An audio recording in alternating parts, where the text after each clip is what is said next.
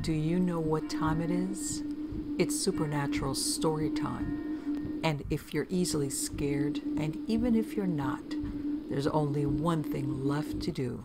Just turn off the lights, because these are stories that you listen to only in the dark.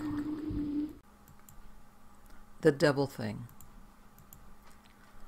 It all started with a pair of bloody footprints. The neighborhood I lived in as a child, which I'm not naming for paranoia's sake, was always much smaller than the rest.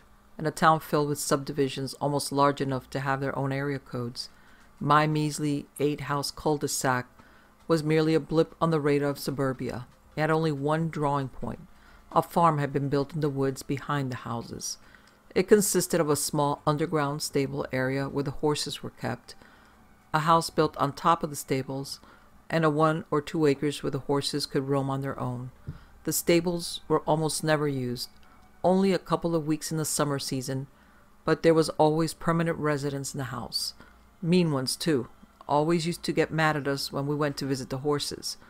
They were old, so I guess they didn't really remember what it was like to be a curious child.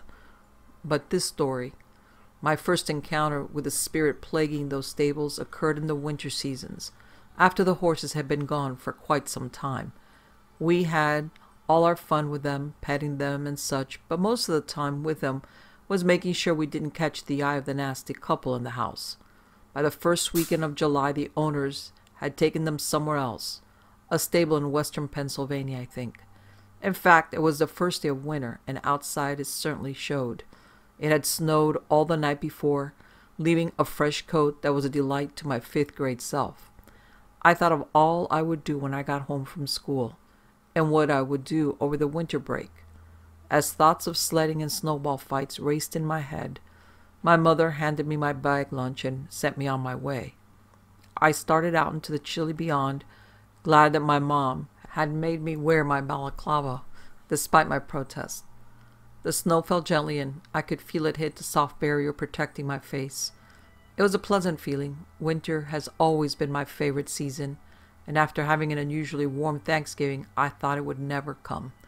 I started down the street for the bus stop, which stood at the mouth of the road, opening up into the county highway. That bus stop is gone now. For safety measures, the bus now stops at each individual house to ensure that each student boarded safely.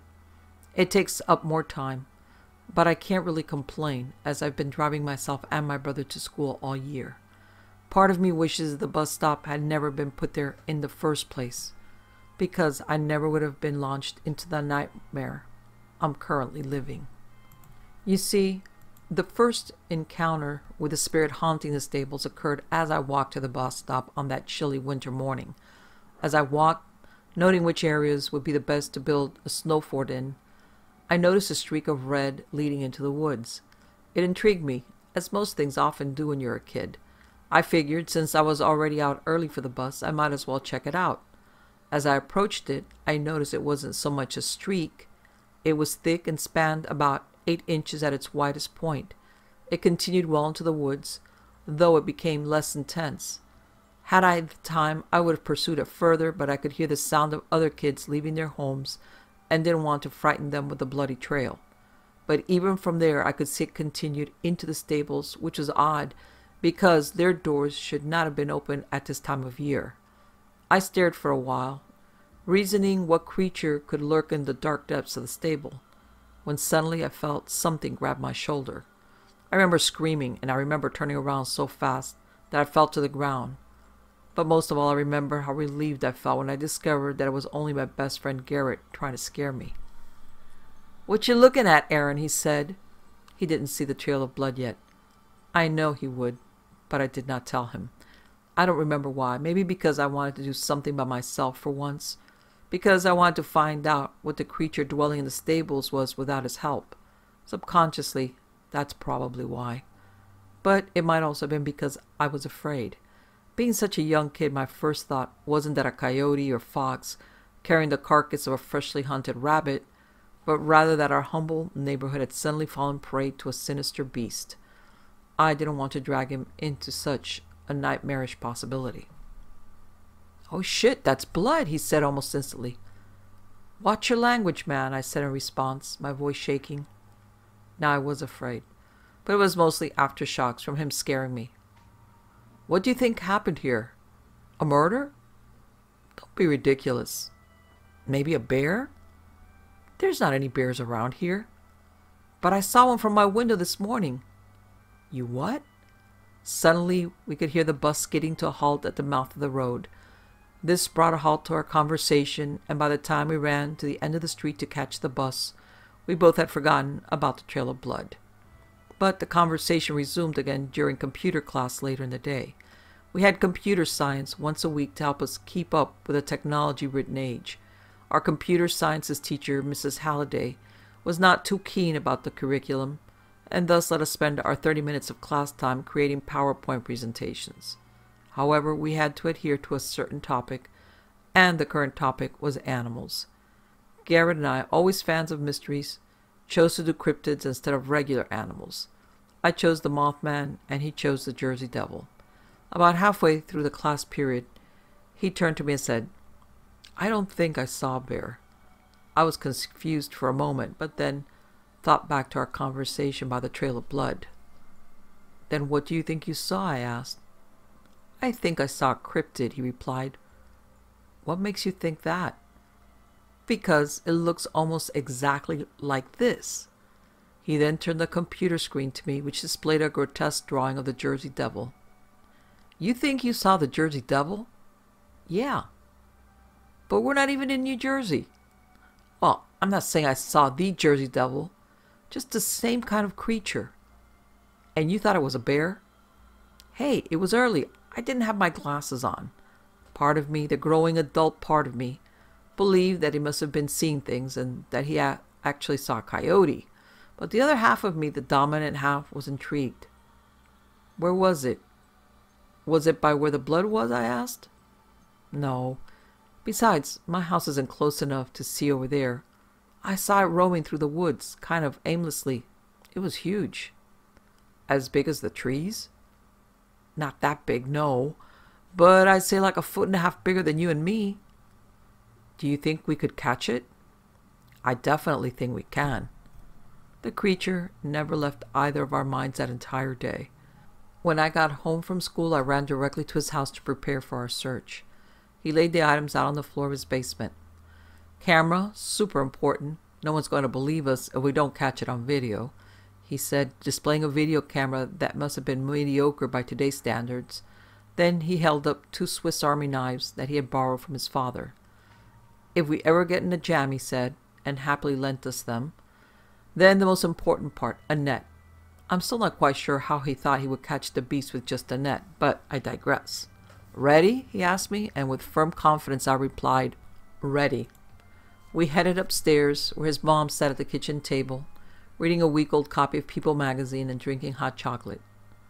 And where do you think you're going? she asked, not looking up from her magazine.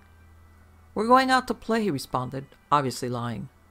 What's all that stuff? she asked, pointing to the sack of stuff he had slung over his back. Garrett was a bad liar, but I physically could not do it.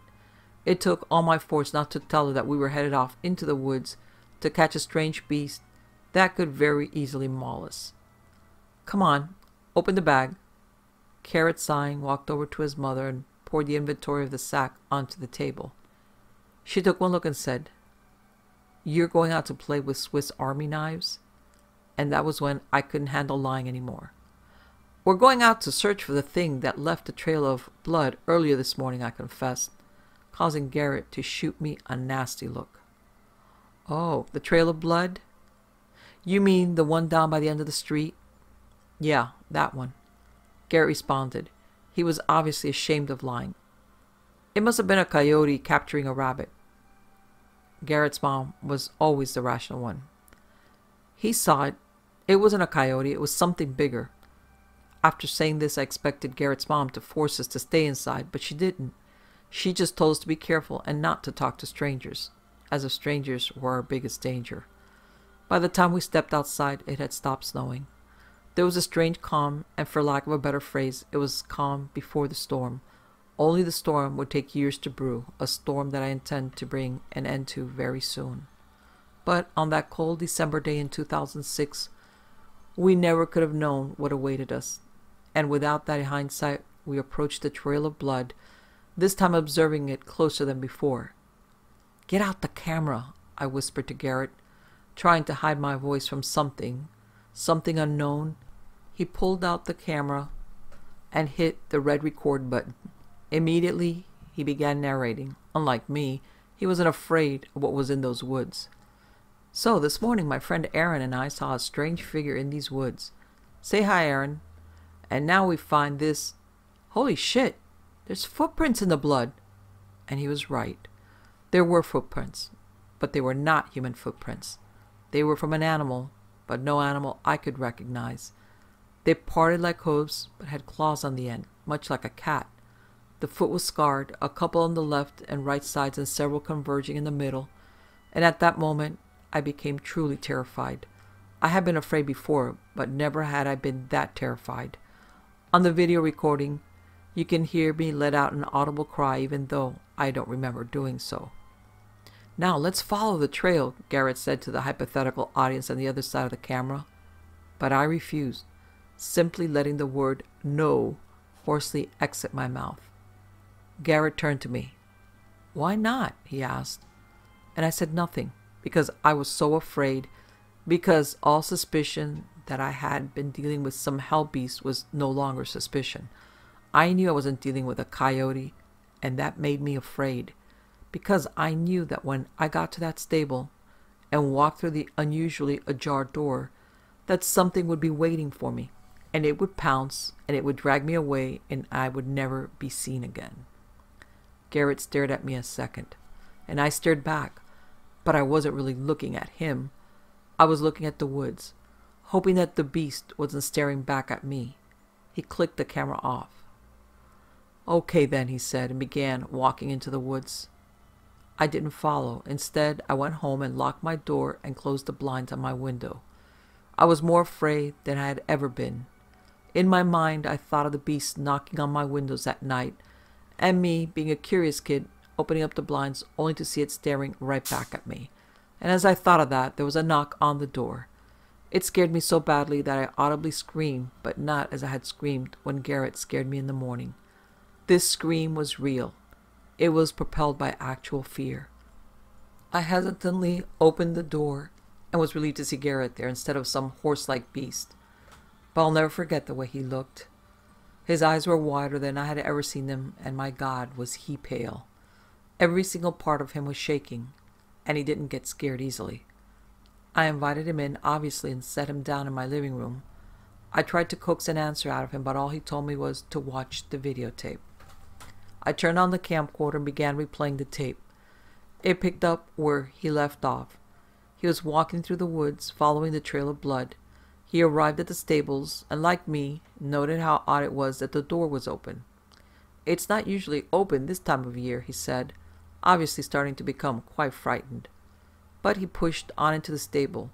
It was pitch black, which should have been a sign for him to turn back, but he pushed on anyways. I could see him approach a small string connecting to a light bulb on the ceiling, but he could not see it. He bumped into it and jumped, but discovered where he was and he pulled it.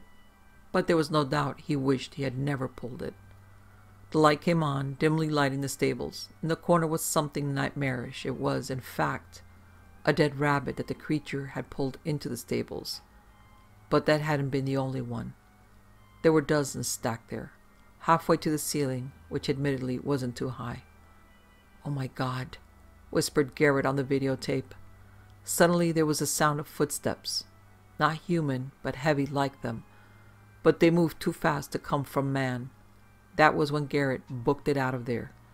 He flew out of the stables faster than anyone I've ever seen, which was surprising, as he was more on the chubby side. I could hear it pursuing him, and halfway through the forest he stopped recording. Now I looked over at him, the real Garrett, and saw that he was crying. I'd never seen him cry before, and I haven't seen him since. All I could manage to say was, did you get a good look at it? He croaked. Only a little bit, and in that moment I looked upon the face of the devil. I said nothing else. We never went looking for the beast again, neither him nor I. At least, not for a couple of years. It was coming closer. College is a peculiar time of your life. Having fun almost always outweighs your responsibilities, hence why sometimes one must go out of their way to pass the class. And so one day I had to attend extracurricular activities at my university late in the afternoon. Surprisingly enough, they weren't too demanding, and I was soon going to be able to pass it, despite my disappointing exam results. On my last meeting at the university, the professor had given me the green light, and so I left the building in good spirits. You see, my university, despite its great reputation, was placed in the middle of nowhere. Or so you could say, it was not too far out of town, but far enough that the shortest path to my home was some forest path. It wasn't a hiking path or anything, just a small, curvy, steep path over a small hill that led to the town. Of course, you could always take the road, but I've always taken great pleasure in lonely afternoon walks, even more so in the fall. I have traversed this path many times, even late in the afternoon, but today the meeting was longer due to the announcement of finishing grades, so it was almost night time. And to top it all, it was also very foggy, but that isn't a rarity in my town, so I've grown pretty used to it. After I smoked a cigarette with some of my schoolmates in front of the college, I said goodbye and went home. While walking, I admired the environment. The fog was thick. The weather, however, wasn't all that cold, but the humidity today was quite something, so breathing wasn't such a mundane task as it usually is. Street lights looked like distant stars or UFOs of some sorts. You couldn't see their poles due to the fog. I could hear the soothing sound of the small creek next to the road flowing carelessly down the stream. There were no animals nor people in sight. I was all alone and I liked it. And after a few more steps, I turned from the small sidewalk into the forest. The forest was silent and dark. The fog covered the higher parts of the hill, but it was still somewhat visible due to the full moon. Basking in the moonlight, I walked through the forest, my footsteps being the only sound heard throughout the forest. Then I heard something. It was a crackle, like if someone or something had stepped on a dry branch. I dismissed it as something not too peculiar, as that sound can also be made by some pine cones falling on dry leaves, or some animal breaking twigs. After all, this is a forest. Animals are sure to reside in it. But I stepped up my pace a tiny bit because something like that makes you feel uneasy. Being all alone in the middle of the forest only worsens the situation. So I walked on and on, approaching the halfway mark, which was a steep rise towards the top of the hill. I never was much of a hiking fan, but I've grown used to this particular slope. Suddenly I heard a cracking sound. Not a tiny crack like before, it was a loud one, as if a bigger animal stepped on a big branch. I quickly looked behind me. There was nothing in sight.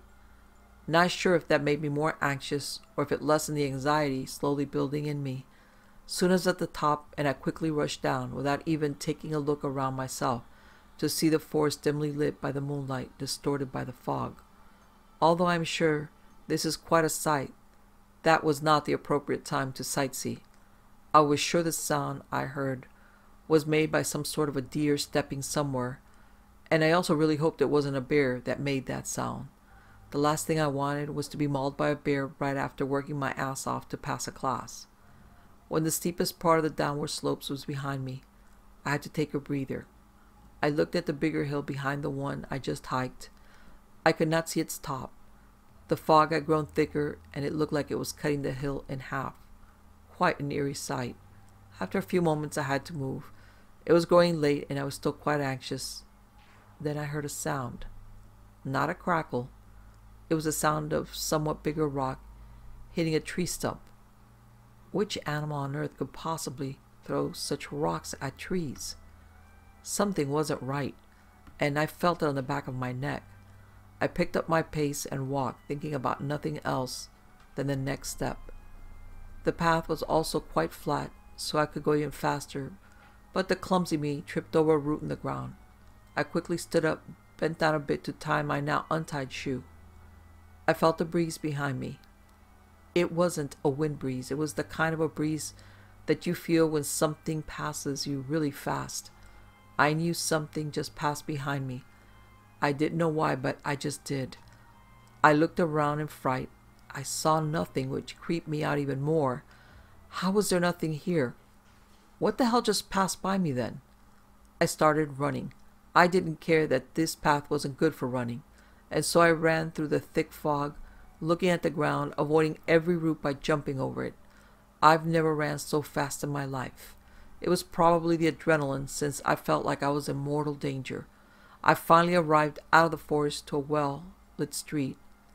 I could finally take a moment to breathe, but as I did that, I heard something whisper my name. Not the silent whisper. It was like somebody screamed my name while whispering. I was shaking, and as I turned around, I saw something in the darkness of the forest. Two lights, glowing weakly but just strong enough to see them through the fog. But their shape wasn't that of a flashlight, but more like an eye. Not a human one, more like a wolf. Trembling in horror, I started running again. I had to get far away from this forest. There was nothing good waiting for me there. I ran into my town and I felt at ease. All the cars and people around me, all the lights, even the fog was way thinner here than in the forest. I lit a cigarette and started walking instead of running. I was pale, like I had just seen a monster, and who knows, maybe I did. People looked at me in a strange way. I couldn't blame them though because I looked damn terrible. Soon I arrived home. I had never felt so safe in my life. I locked the door twice, checked every door and closet, due to how paranoid I was. Nothing was there. I felt relieved and opened a can of beer to celebrate me passing the class and perhaps to celebrate being alive after that nightmarish hike. I began frantically searching the internet for any proof of werewolves or other cryptids in my area. Of course, I found nothing, since everybody dismissed tales of supernatural as fake. I knew my story wasn't fake, and I decided to never set foot in that damn forest ever again. It was time to get a bike and take the road to my university, the safe, well lit road. I looked at some videos to help ease my mind, but it didn't help much. I had to take a sleeping pill to try and fall asleep. I also locked the door of my room, because one can never take too many safety precautions. I could feel the pill slowly taking on over, and I began to drift away. Suddenly I felt uneasy, like something was watching me through the window. I immediately stood up and went to the window. As expected, there was nothing there, mainly because I live on the third floor. I dismissed it as paranoia induced stress, as I've had quite a stressful walk home, but on the other hand, I couldn't get it out of my head. What if something was there, but it was on the wall above my window? I was panicking, so I had to calm myself down and try to fall asleep again. I finally fell asleep, and I had vivid nightmares about the thing stalking me. It was not a pleasant experience, to say the least. I woke up covered in sweat I shook my head to snap out of the delirium that I had just experienced. When I came to my senses, I giggled nervously. I felt very uncomfortable with the fact that I was living alone in my apartment, which did not help either. There was nobody there for me to calm me down, to assure me that everything was going to be okay. I was all alone with my mind that was ravaging like a hurricane. Nothing made much sense anymore. I looked at the clock next to my bed. The time was 2:17 in the morning. I didn't get much sleep and I was not going to get much anyway, so I decided to read a book to distract my mind. Completely immersed in the story, I started to forget about the nightmarish journey that had happened only a few hours earlier. Then I heard a knock. No, that sound was not a knock. More of a slam into my window, like the sound birds make when they run into it. But there were no birds. Winter was coming, and they had migrated to warmer places. I grew even more paranoid. What just slammed into my window? I decided to go and take a look. At that time, I'd much gladly see someone throwing bricks at my window. Hell, even pointing a gun at me, than what I've seen, which was nothing. The thing that just scared the living hell out of me was nowhere to be seen. I was 100% sure it was the monster. Sounds irrational, but my mind was sure of it. I went back to bed shivering. I didn't know who to call. Who would even believe such a preposterous thing? Everybody would have dismissed it as the wind, but I was sure that wasn't the case. Not sure why I felt the way I did. Thump. I heard that sound coming from the hallway. Something just bumped into my window again. The door to my room was directly opposite the hallway window, so I saw moonlight shine, disappear for just a moment. Something had passed my window. There was no denying it. Something literally passed my window. On the third floor. What kind of a creature is big enough to blacken your whole window? Yet it can climb walls so proficiently or fly? I grabbed my pillow and squeezed it next to myself. I was numb, holding the pillow so tight I almost tore it open. Suddenly I heard my window being torn off. Not being broken, literally being torn off the hinges. It fell on the ground and made a loud noise that surely woke up half the building. Then something jumped inside of my hallway. The hardwood floor creaked. Creak upon creak, I could feel this creature coming closer. I muffled my mouth with a pillow, hoping that the creature wouldn't notice my presence. I could hear it putting its head on the door and breathing heavily, like it had just run a marathon. Then it started whispering something incomprehensible. It wasn't a language I'd ever heard of. It sounded more like animal sounds mixed with gibberish. It turned around and went somewhere else in my apartment. I presumed it was the kitchen. I heard it making a ruckus there. Drawers were being torn out, all the forks and knives were being thrown around. It even started breaking glasses, throwing them all over the place. It was searching for something. Me, I started crying in sheer terror. This thing was coming for me. It was only a matter of time before it found me. Then it suddenly stopped wreaking havoc upon my kitchen. My cries were probably a tad bit too loud, so I quickly but silently hid under my bed. I heard the hallway floor creak, which meant it was in the hallway again. It made slow, long steps as if it was mocking me, trying to make me even more nervous. It came to the door once again, but this time it started sniffing around. I could see the doorknob being jerked around. Isn't that kind of funny? My impending doom could not even turn a doorknob. I was shaking. Tears were running down my face. I started thinking of all my friends, my family, what will they know of this? What will be marked as my cause of death? I was mad. Why did I even sign up to this college? Why did I get an apartment on the third story? I couldn't even jump out of the window. That meant almost sure death. Hiding underneath my bed, I at least had a glimmer of hope left that I wouldn't be discovered. Well, that is what I was clinging to. The creature roared and started pounding at the door. It knew I was here. Perhaps, while immersed in my thoughts, I made sounds that ensured that thing I was here. The door wasn't going to hold on much longer. I was as pale as a wall. As the door was bulging more and more, I could see glimpses of the creature, but not enough to actually describe it. After what seemed like an eternity, the door just fell over. I could now finally see it in its full grotesque glory. The sheer sight of it was making me feel sick and scared. It didn't look like anything I've ever seen in my life.